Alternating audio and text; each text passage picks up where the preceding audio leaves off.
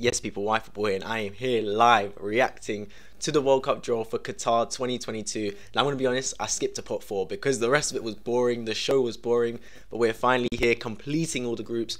I'll react to every single one of them one by one as they get completed. I've got the pots over here somewhere, somewhere here, but yeah, so that you'll see all the pots. In terms of group, right now, Group A, Qatar, Senegal, Netherlands. Group B, England, Iran, USA. Group C, Argentina, Mexico, Poland. Group D, France, Denmark, Tunisia. Group E, Spain, Germany, Japan. Group F, Belgium, Morocco, Croatia. Group G, Brazil, Serbia, Switzerland. And Group H, Portugal, Uruguay, and Korea. And they're about to pull out the teams to complete the group, starting with Group A. Let's see what my man pulls out. I mean, this is great group for Senegal and Netherlands already. Like, out of all the pot one teams, you got Qatar. That is the best one. And to complete the group, you have IC playoff one. So one of the playoff teams, because unfortunately not all the teams that are in the that are to be in the World Cup are in the draw right now. There's still some playoff games to be played. Either way, I don't expect this team to go out the group. If you're in pot four and you make out the group stage, you've done a madness. Like celebrate like you've won the World Cup in your country, honestly, because it's not expected. Either way, it's getting skipped down to Group D because of constraints apparently where not the more than one nation same continent can be in the same group for the group stage unless you're in Europe which you can have two. But yeah. Uh, so they'll join group D which will have France that team Denmark and Tunisia. A good group definitely group France. Denmark tough team don't get me wrong man. They made it quite fun Euros. Tunisia will be kind of hard, but I don't think it's the worst team in the world. And obviously, this intercontinental playoff team, they're pot four, they're not expected to be amazing. So yeah, I think France will be favourites there, and second team Denmark. I think it'll be routine for them too. I mean, to be honest, I, I, Tunisia might do a bit of a threat. These African teams normally do, but I can't see it. All right. And for Group A, Ecuador have been pulled out. Ooh, South American team, man. And they will go into Group A, I believe. There shouldn't be any constraints there because they're not in they're not in the same continent as Qatar, Senegal, Netherlands. So yeah, Ecuador Group A. Wow, wow, good group. Like this is a group. Don't get me wrong, yeah, Qatar gonna get uh, literally everyone's gonna say Qatar gonna get knocked out, but this is their home World Cup, and their team. Like, I, I preed some of their games. They're actually winning some games in the follow up. They're probably imported a lot of their players. I'm not gonna lie, I don't know if any of their players are homegrown Qataris, but either way, if it works, it works. It won't be easy. Like it's they're they're used to the climate, they're used to conditions. Netherlands, Ecuador, Senegal won't be used to the harsh conditions in Qatar. So decent for them. Either way, I expect Netherlands and Senegal to get through there, but never count out a South American team like Ecuador. All right, the next one's getting pulled out right now. Saudi Arabia. Big boy Saudi Arabia in the World Cup, man. They're like a 0.5 star team on FIFA, but they made it. And they don't go to Group B, I believe, with England. I think they go into Group C because Iran and Saudi Arabia are in the same continent.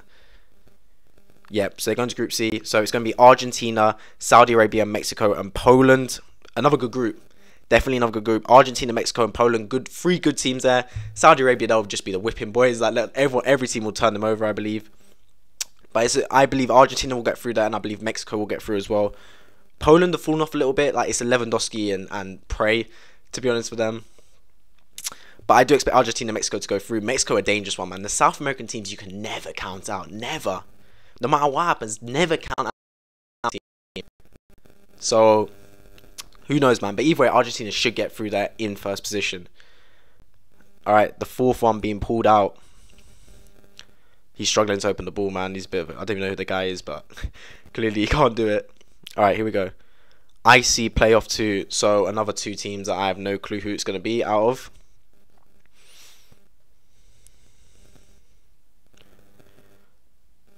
So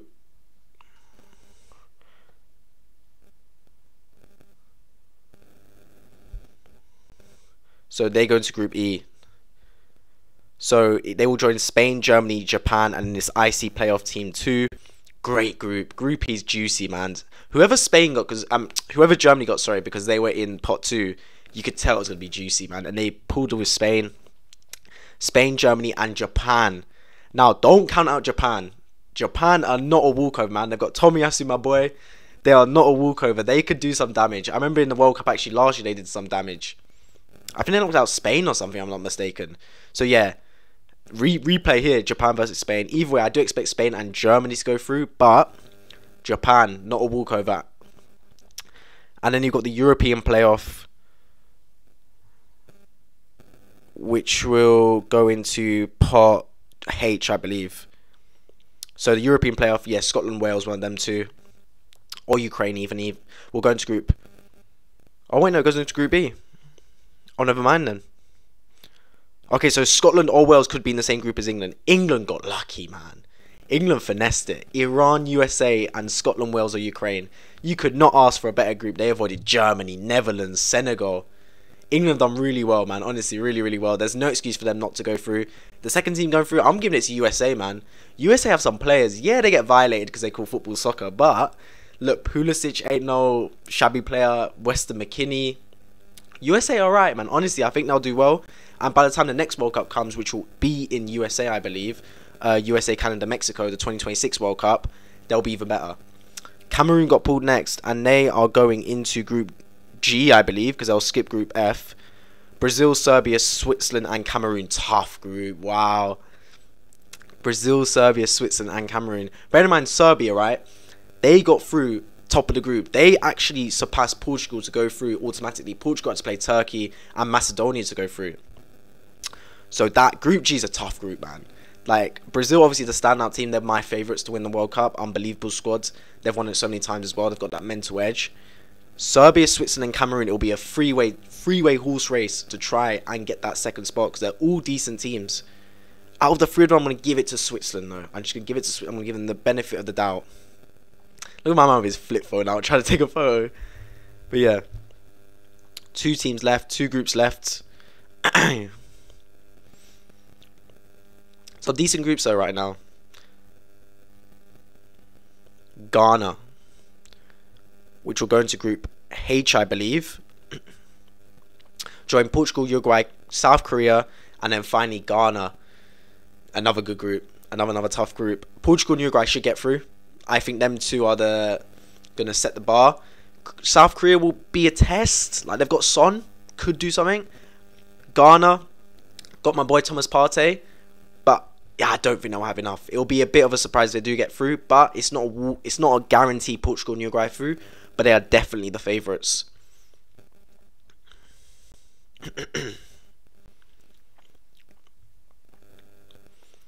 and we're going to get into the final group, Group F to draw that team.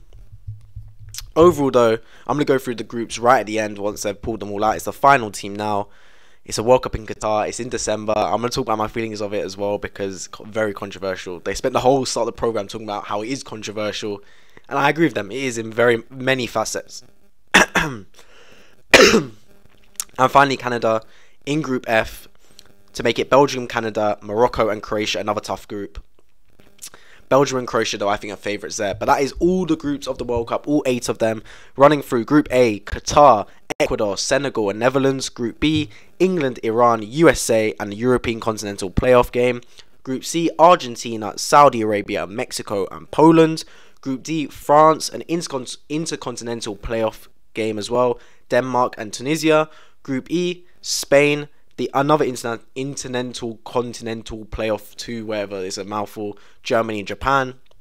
Group F, Belgium, Canada.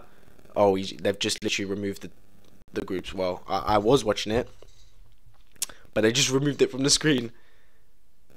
Okay, well, they come back. Belgium, Canada, Morocco, and Croatian Group F. Group G, Brazil, Serbia, Switzerland, Cameroon. And Group H, Portugal, Ghana, Uruguay, and Korea. Some tasty, tasty draws. Let me know your thoughts of the draw in the comment section down below. In terms of the World Cup for Qatar, I'm looking forward to it. I always do look forward to a World Cup, but I'm I'm not a pessimistic guy, but I am pessimistic about this one in terms of the fact that how it's going to turn out. First of all, it's the first Winter World Cup. I don't know how and who thought that was a good idea. Secondly, the climate.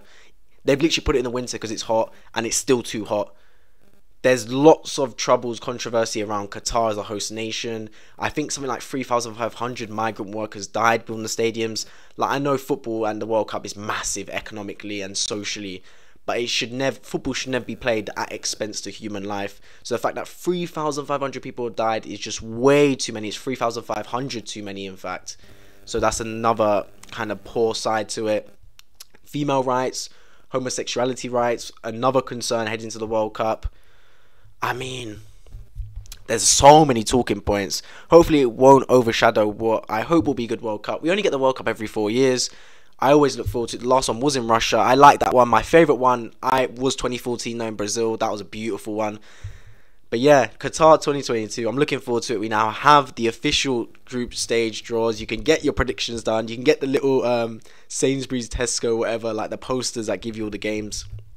But yeah, if you're new and if you enjoy football content, I will be covering the World Cup later down the year. But for now, we've got Premier League, Champions League, all to focus on. I've been WhyFootball, guys. If you enjoyed this, please consider subscribing on my road to 700 and drop a like down below so this video gets out to more people. I've been WhyFootball, and I'll catch you guys in the next video.